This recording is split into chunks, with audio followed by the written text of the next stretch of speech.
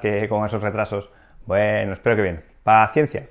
Eh, hoy os traigo un vídeo de qué me parece Down of the Sets. En esta serie de vídeos intento explicar eh, los pros y los contras de los juegos que he jugado eh, intentar acercaros si puede ser un juego para vosotros o qué tipo de jugadores puede gustar y a cuáles no. Como sabéis, a estos juegos, cuando hago estos vídeos, intento haber jugado al menos 10 partidas. A este juego, sumando la versión anterior que tenía en inglés y la que ha llegado de maldito, ya he llegado a ese número. Así que, venga, vamos a ver mm, qué me parece Down of the Sets. Bien, para empezar, un pequeño resumen. Eh, Down of the Sets es un juego que se puede jugar en solitario, eh, en cooperativo y en modo versus que admite hasta 5 jugadores. Es un juego que ha traído el maldito Games en español, antiguamente solo estaba en inglés. Y eh, en síntesis se trata de un juego tipo defender la torre, en este caso defenderemos la ciudad de oleadas de zombies. tendremos que resistir hasta el último día, que es la última carta de evento del mazo de eventos sin que ninguno de los zombies invada el centro de la ciudad. Em, ahora os voy a intentar explicar eh, cuáles son los puntos negativos y positivos del juego y empezaremos con los puntos negativos, que son pocos, ya veréis, no, he encontrado muchos puntos negativos. El primero y el que he encontrado más grande que puede echar atrás a algunos jugadores es la alta curva de aprendizaje que tiene el juego. Es un juego que para aprovechar todas las reglas y todo el potencial que puede dar hay que darle varias partidas, hay que empezar, es recomendable empezar del nivel 0, el nivel 1. El juego tiene el nivel 0, que es el nivel básico, y 5 niveles más. No es que sean más difíciles, eh, simplemente que van introduciendo más reglas. Lo que sí que serían más difíciles de aprender o de dominar, como si dijésemos. El último nivel contiene todas las reglas y la verdad es que es una gozada, pero sí que hay que dedicarle un tiempo, eh, intentar aprender bien las reglas de un nivel hasta pasar al siguiente. Sí que es verdad que hay un nivel de, depende, de, depende de qué niveles saltas, hay menos reglas introducidas, pero bueno, llega un momento en que son muchas reglas que pueden venir eh, al mismo momento y hay que dominarlo. Por eso digo que es un juego que hay que dedicarle partidas. El siguiente punto negativo em, es un es algo estético, que es de más, bueno, como todo, ¿no? Son cosas subjetivas. Sí que hubiera mejorado mucho el juego con miniaturas, y que fueran de una escala más pequeña, ¿no? Para los héroes y para los zombies. Eh, ya os digo, es un aspecto visual que podía haber ayudado un poco a que el juego tuviera más enganche al público y que no se viera tan, eh, tan tosco aunque sí que es verdad que los tokens cumplen perfectamente la función, está todo súper claro y son de buena calidad.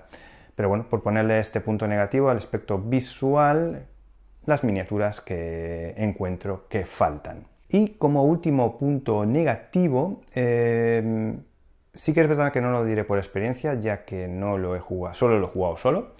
Creo que es un juego que está hecho para solitario. Eh, el modo que se puede jugar hasta cuatro jugadores en cooperativo, pero eh, solo lo recomendaría si los cuatro jugadores tienen el mismo nivel de conocimiento del juego o si empiezan a jugar y aún así me lo pensaría jugar a cuatro. A dos, posiblemente si las dos personas eh, tienen el mismo nivel sobre el juego, posiblemente pueda funcionar bastante bien. Lo digo porque es un juego que se da mucho al efecto líder eh, yo os digo, no lo he probado a más de una, no no lo he probado, aparte de solo no lo he probado, pero eh, creo que puede tener mucho efecto líder, tendería mucho a efecto líder, sobre todo si el que eh, una de las personas que juega es el juego suyo y está enseñando a los demás y no sabe controlar ese impulso de tener que decir lo que se tiene que hacer en cada momento y lo que no.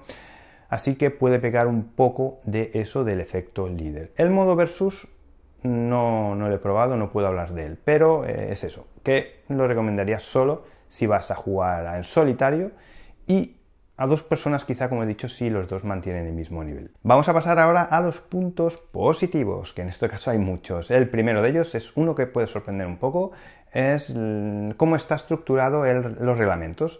A primera vista, que vienen con cinco reglamentos, puede parecer un poco fuerte, ¿no? Que haya tantos reglamentos y puede decir, ostras, qué difícil va a ser aprender a jugar. Pero para mí es un acierto, ya que estos reglamentos, la cantidad de reglamentos que incorpora, lo que hacen es facilitar mucho el aprendizaje.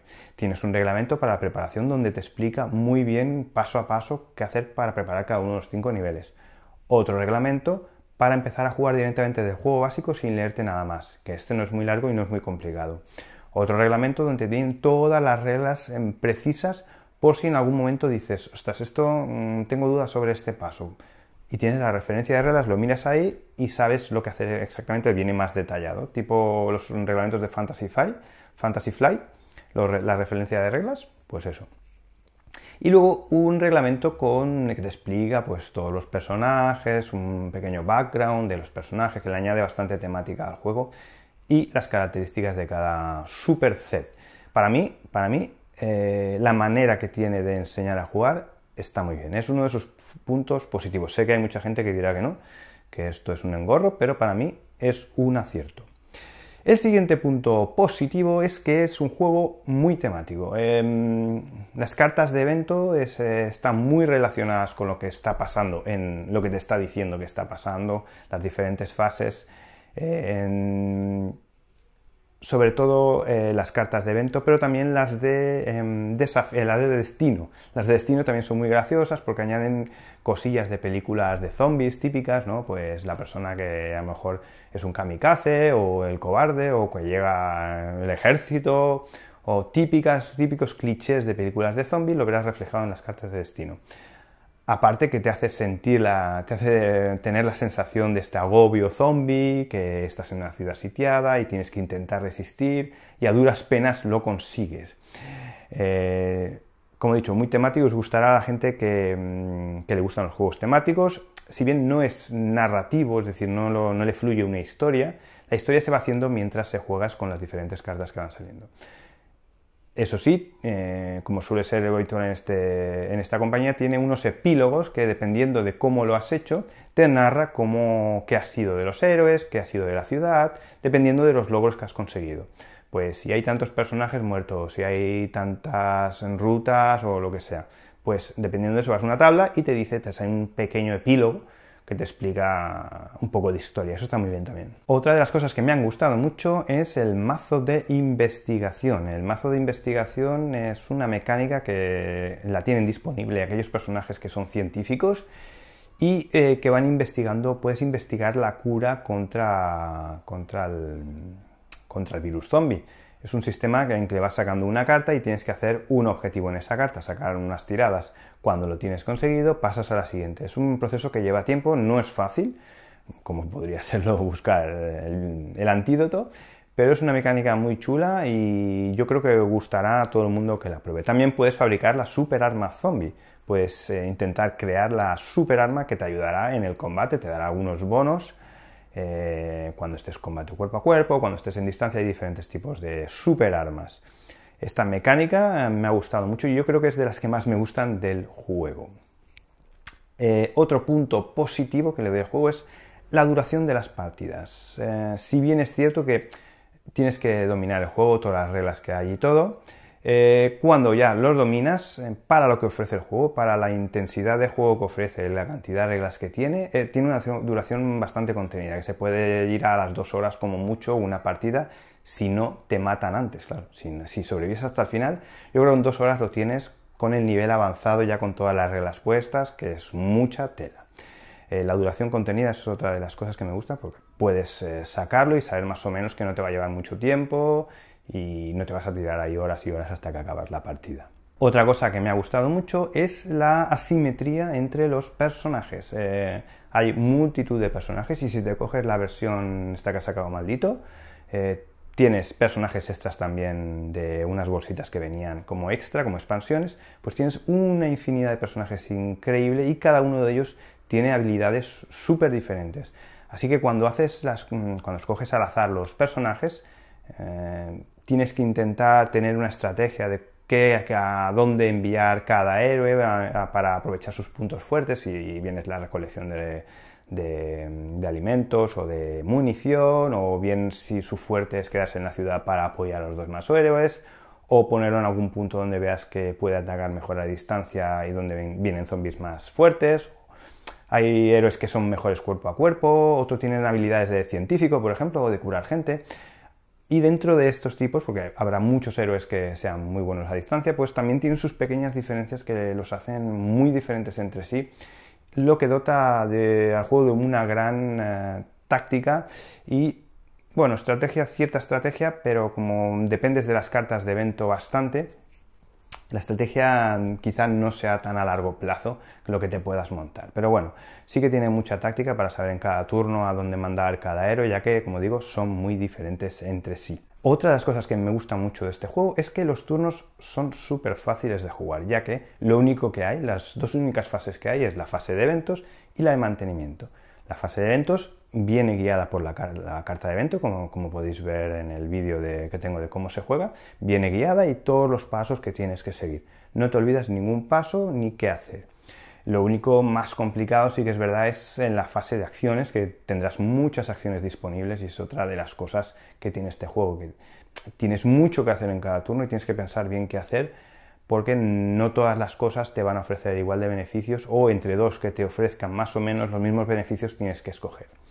Así que, eh, como digo, la facilidad de juego del turno en sí es, eh, una cosa muy positiva. Y la última fase es la de mantenimiento, que es muy simple eh, y no, no conlleva gran dificultad. Y finalmente otra de las mecánicas que me gusta mucho es el track, bueno, los tracks de suministros y el track final del track de abajo del todo, que es el track de infección, que controla los brotes y los brotes descontrolados.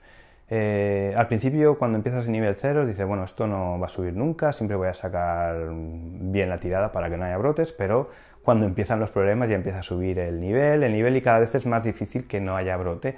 Cuando estalla un brote, se rebaja el nivel de infección porque se supone que ya la gente se ha convertido y vuelta a empezar. Mm, algunos turnos será más fácil que estalle el brote, otras menos, ya que depende de una tirada, pero esto le da bastante mm, eh, poca previsibilidad a cuándo va a surgir el brote. Aparte, eh, las cosas que hacen subir la infección son bastante, están bien, bastante bien enganchadas, como por ejemplo, si alguien se va eh, herido de muerte al hospital, esto hace subir la infección porque hay una persona que está mordida por un zombie en el hospital. En cambio, si se va, si lo curas, eh, el nivel de infección baja. Eh, hay cositas así que lo hacen, lo hacen muy temático esto del nivel de infección y cómo se controlan los, los, brotes zombies.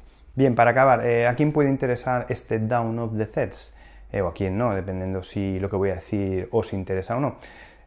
aquellos que os gusten los juegos temáticos, sobre todo, y si buscáis un juego de zombies diferente a lo que normalmente pues más tipo arcade o de casillas, ¿no? como Zombicide o Day Z.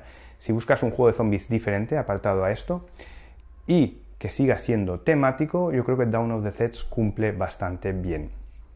Aparte, eh, si lo habéis mirado un poco por encima, no, que no os dé miedo esto de las tablas de ataque a distancia, de ataque cuerpo a cuerpo, eh, ya que os habrá podido dar la sensación de que es un wargame, pero no tiene nada que ver. Estas tablas, a mí de hecho, los wargames no me llaman nada y este juego me gusta mucho.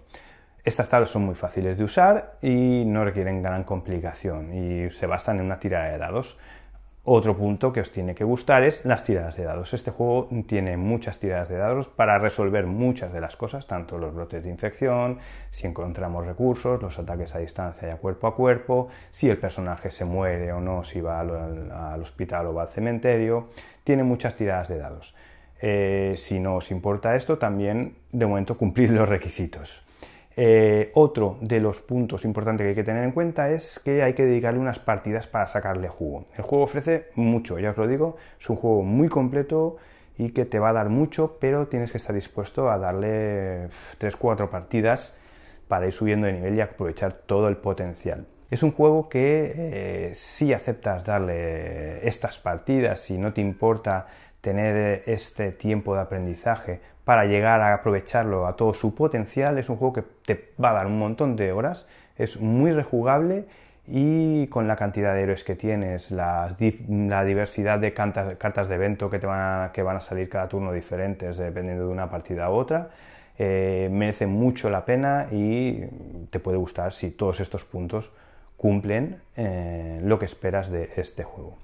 Y bien, espero que os haya ayudado con este, con este que me parece Down of the Sets a decidiros después de pues, unboxing que tengo, el cómo se juega, para acercaros un poco más mi opinión sobre este juego, porque para mí es eh, un imprescindible, sobre todo si te gustan mucho los solitarios temáticos.